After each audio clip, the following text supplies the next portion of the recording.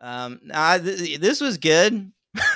yeah, much better than uh Clerks three. I'll tell you Yeah. that much. So you know what's a bummer is we have to talk about Kevin Smith again right now Why? because I'm going to tell you about the development process behind this movie, and for a very long time, Kevin Smith was attached to direct. Oh boy. Yeah. Um, very glad that didn't happen. Um, Well, if he did this, he might not have done Clerks three. That would have been good. yeah, but this would have been horrible. But we wouldn't have had to watch Clerks three. But I like that there's a good Fletch movie, and I want to see more of them. oh, you want more? I want them to make a hundred of these. I don't understand why this isn't a, a TV show. Jon Hamm can't get off his ass and do six of these a year. I've always felt that way about the movie. Uh, which one is it? The Nice Guys. Yeah, that should be a TV show too. I agree. That would be incredible. Yeah, Sometimes I get that mixed up with the other guys. The Nice Guys is like truly like a masterpiece. That's a great movie. That's overstating it, but it is a great movie. No, that is a great, great, great movie. All right, so this movie, Better than Kiss Kiss Bang Bang, and that's a great movie. I disagree. Um, it's like that movie, but better. I feel the opposite. uh, all right, so so this is back in the '90s, Logan. Like after Fletch lives, obviously, like the property was dead. Nobody wanted to make a Fletch movie for a long time. It's a horrible movie. Um, but then they Miramax got the rights. Harvey and Bob, baby, the demon spawn of Miriam and Max, back at it and they got the rights to Fletch and they immediately offered it to their king, who at the time was Kevin Smith, coming off of uh, Amy, I believe. And um, Kevin Smith tried to get this movie made for a really long time.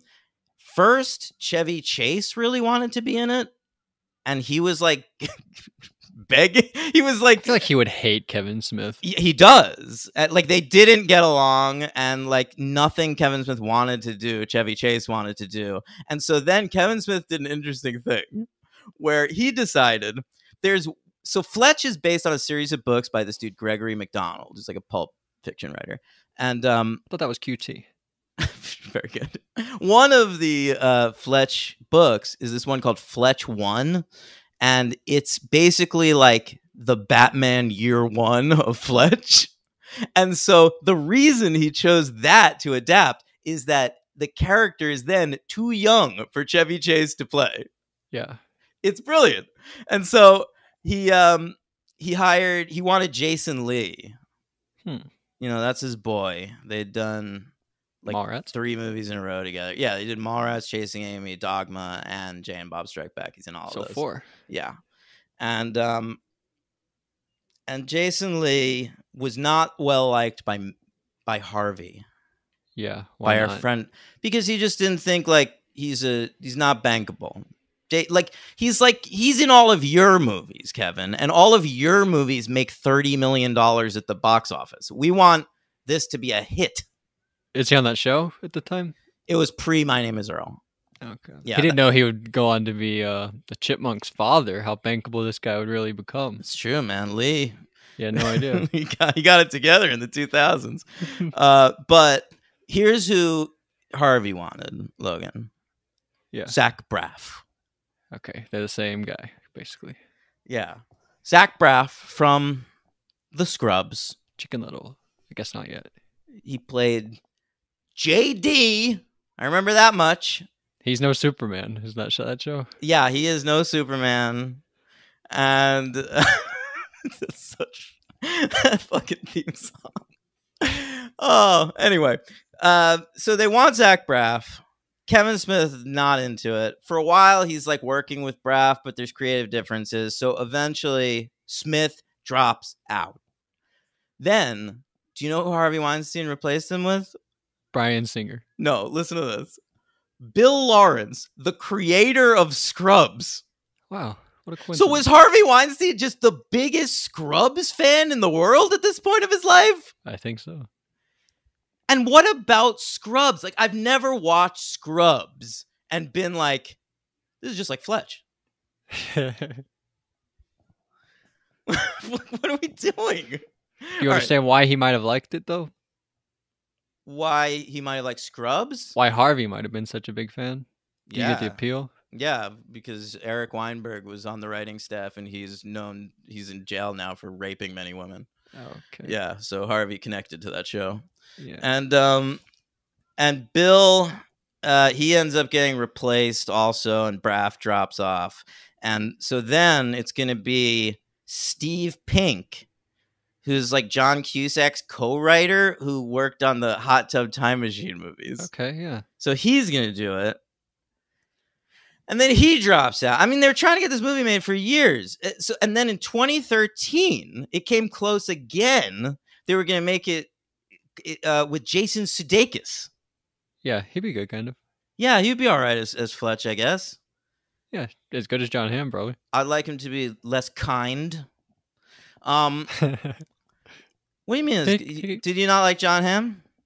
that that's fine. I thought Hamm killed it in this movie. Honestly, Really? I thought he I- was great. Yeah. Sometimes I'll I'll watch like. Hamm. I'll watch. I really will watch Hamm in a hundred of these. I would.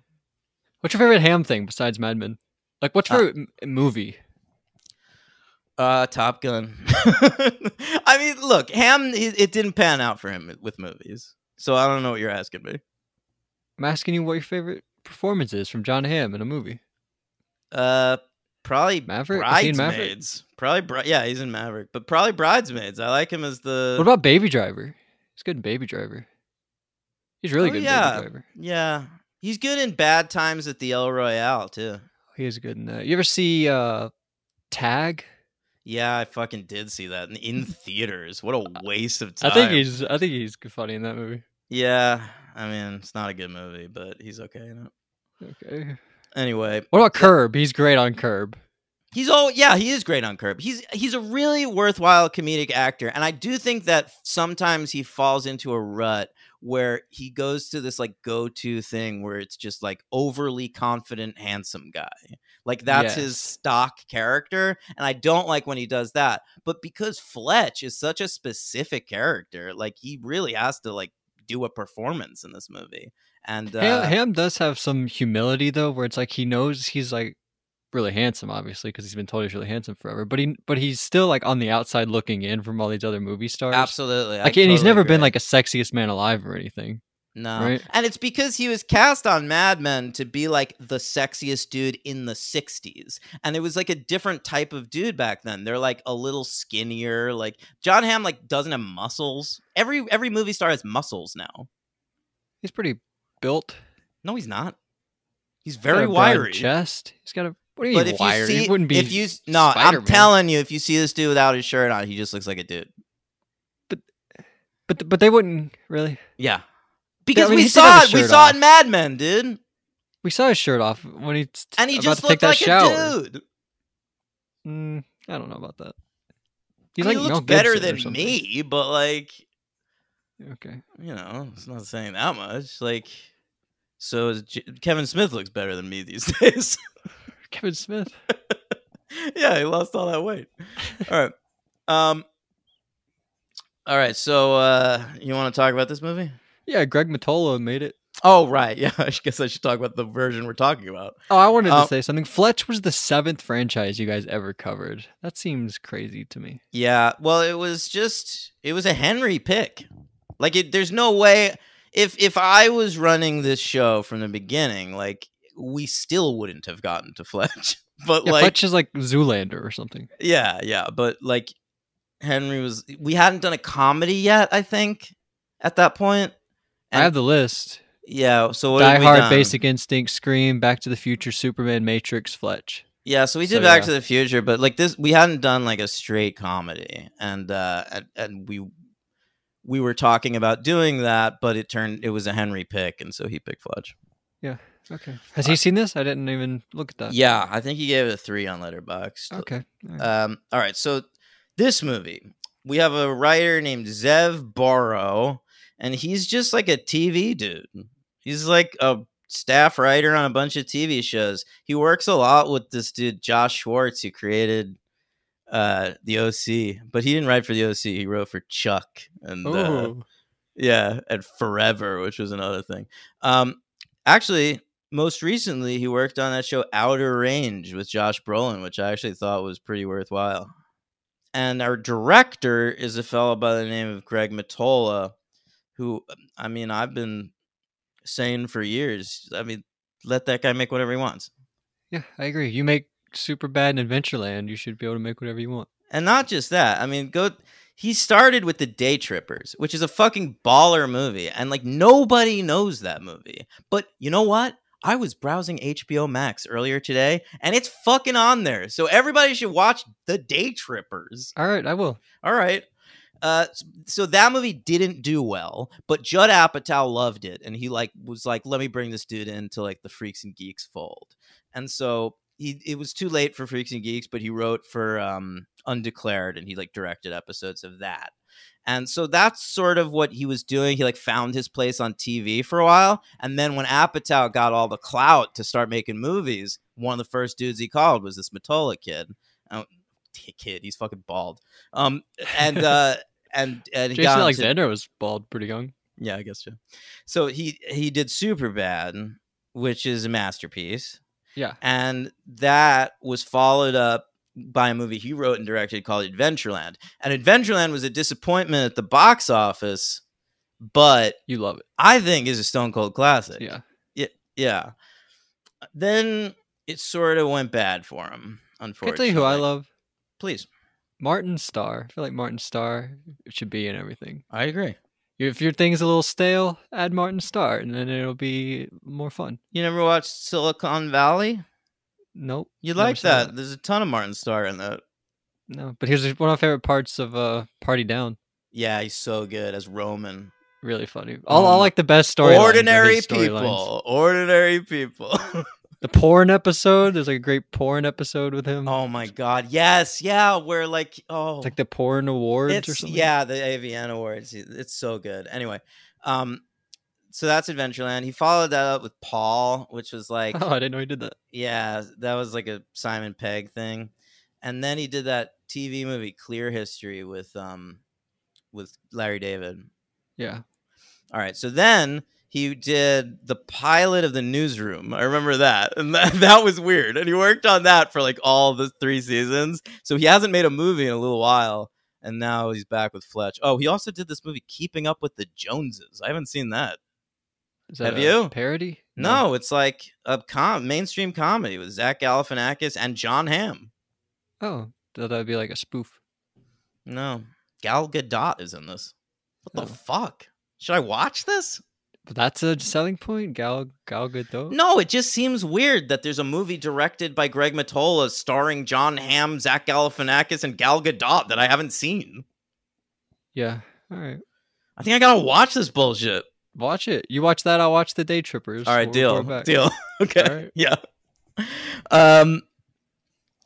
All right, talk about the movie.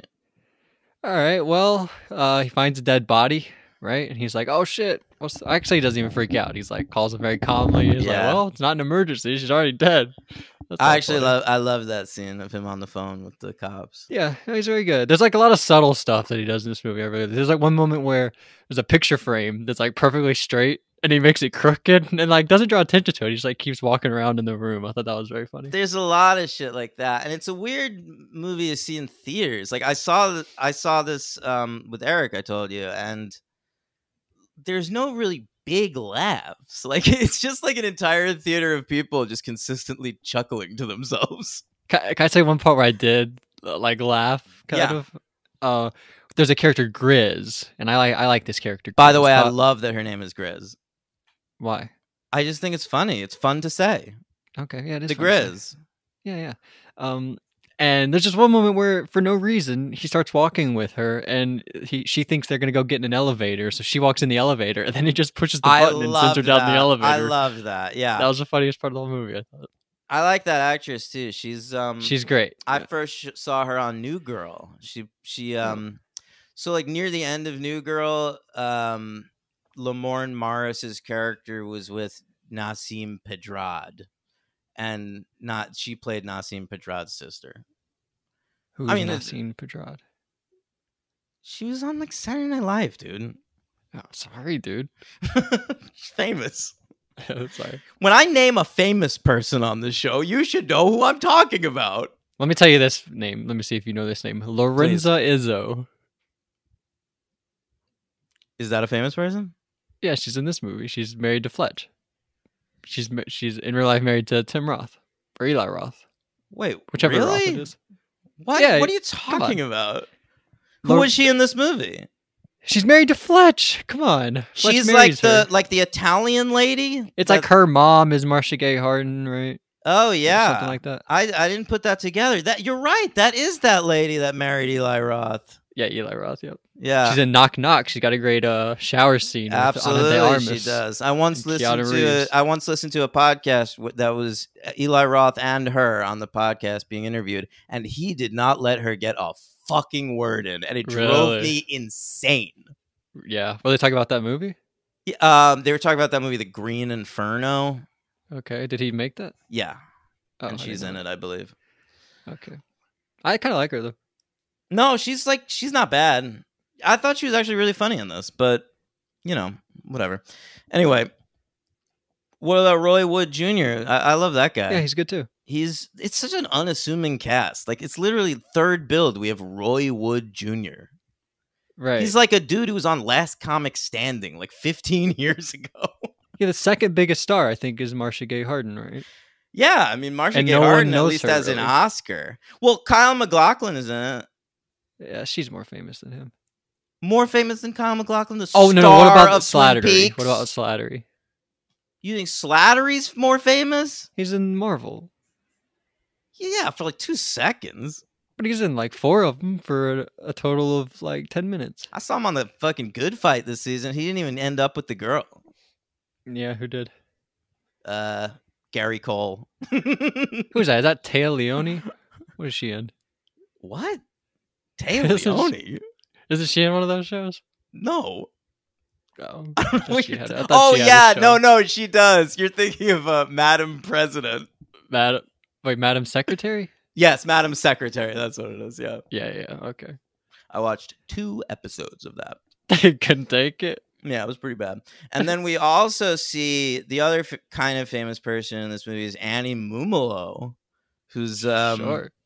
She's uh, Kristen Wiig's co-writer.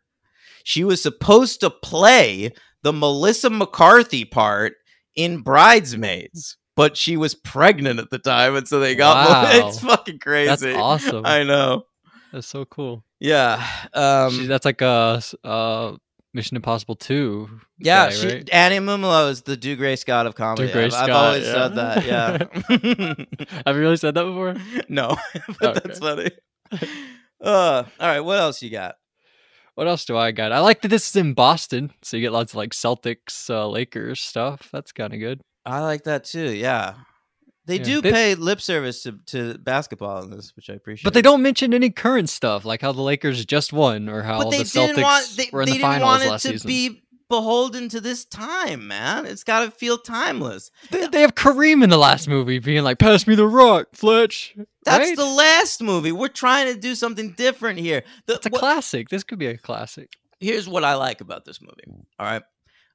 As a kid, I loved like drugstore paperbacks. All right. So, like, when your parents would take you to like the pharmacy or something, I sound like I'm fucking ancient. How old am I? Uh, I don't know. Some fifty-five, I think sometimes. It's crazy. Like, what is this anecdote? Yeah, I don't, you're at the pharmacy with your mom.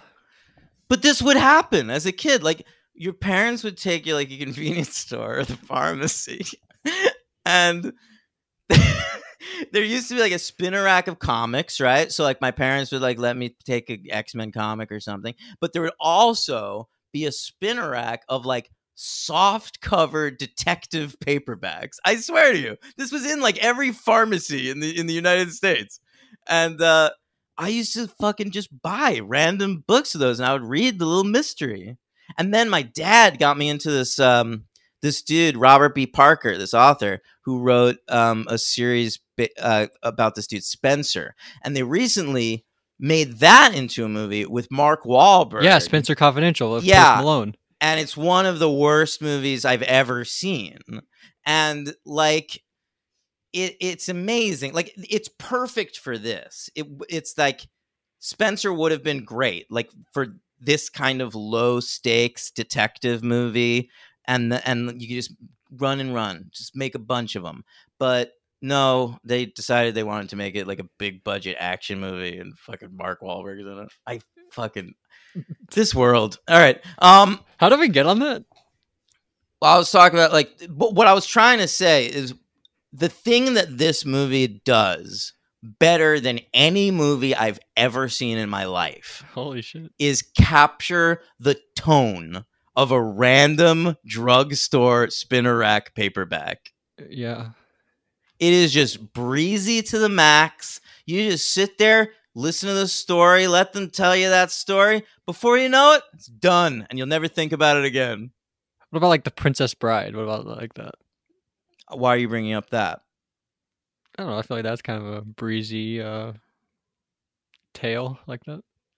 But that's like a fantasy thing. I'm t- I'm talking about these like procedurals, you know? Just get in there, tell me a mystery. All right, give me some clues, give me some suspects. And this is then better than anything. I think this captures that breezy tone better than any movie I've ever seen. Better than the first one. I don't even think that's what that movie's going for. I think that movie is trying to be a mainstream comedy starring Chevy Chase.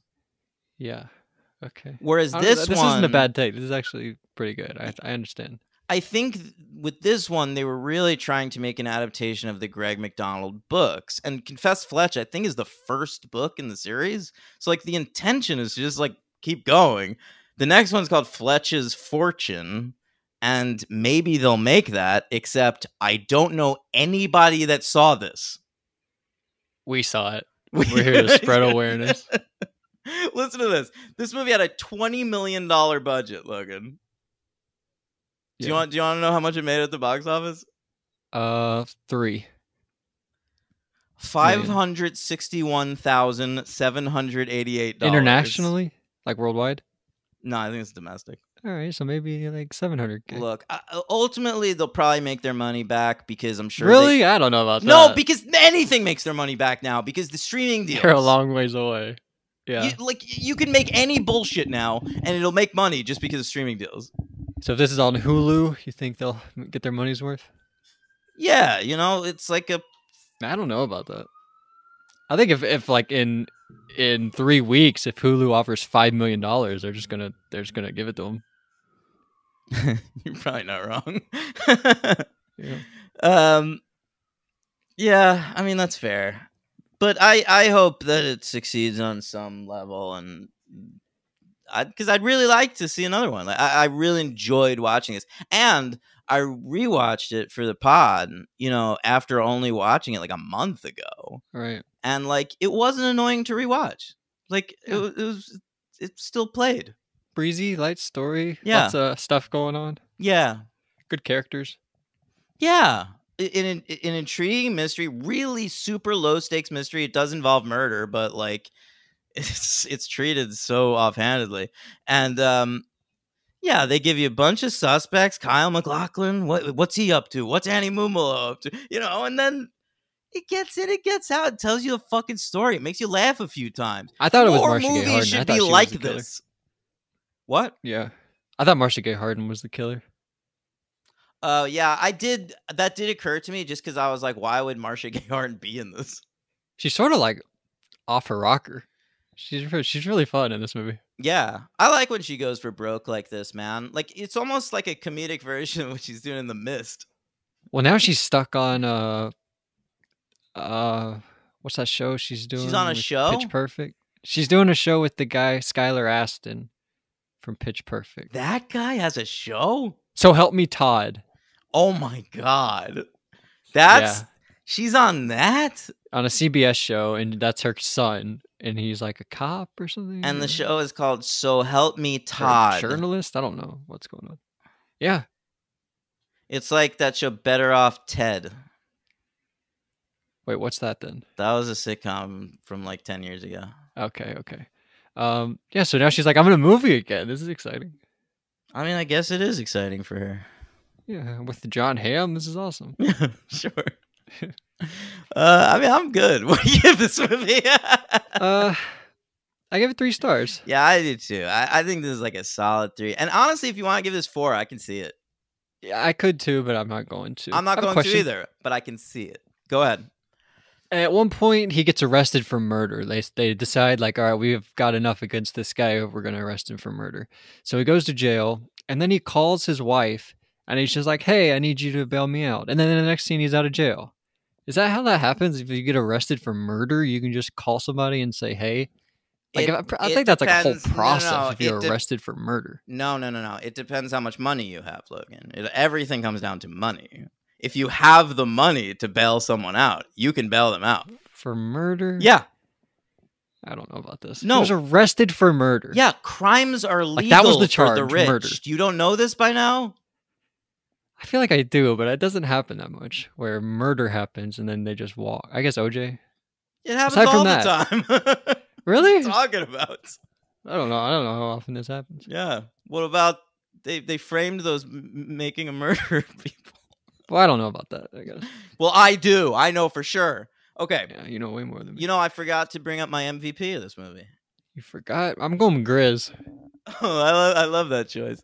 But no, there's one scene where Jon Hamm goes to a yacht club and Eugene Mirman plays a security guard at the Oh, yacht loved him. club and they clearly just let Eugene Mirman do anything he wanted in that scene and he's so fucking funny. Yeah, that's a great scene. Actually, he tells him that uh, his uh, whoever they're talking about died in a propeller accident. Yes. funny. yeah. But then he dies at the end. He gets shot. Right. I don't remember dude that, does he? dies. I was like, oh damn, I like that dude, and then he just died. Yeah. So I'm gonna go with that guy. All right, that's a great pick. Yeah, I think the Okay. Grizz is a great pick too.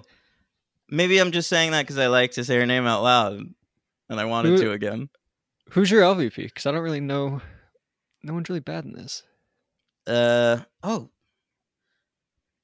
I mean, Ronald. Kyle MacLachlan. I'm not giving Kyle MacLachlan an LVP. What's wrong with you? I- Lorenza Izzo, the wife. Mm, she's okay. I don't want to go Marcia Gay Harden. I don't want to go Fletch. I don't want to go Grizz or uh or Roy Wood. I know. What a strong movie that I'm having trouble coming up with an LVP. I can't believe it. They have a Um, KG jersey. Go KG. What's KG mean? Oh, Kevin Garnett. Oh yeah, I did notice that Kevin Garnett jersey. Um, you know, I'm a, I'm gonna go. Just kidding. I love K. I'm I'm gonna go with with Eli Roth's lady, but but nothing against her. Her performance is fine in this. yeah. I'm gonna go her for marrying Eli Roth, not for anything. In Yeah, that's movie. fully fair.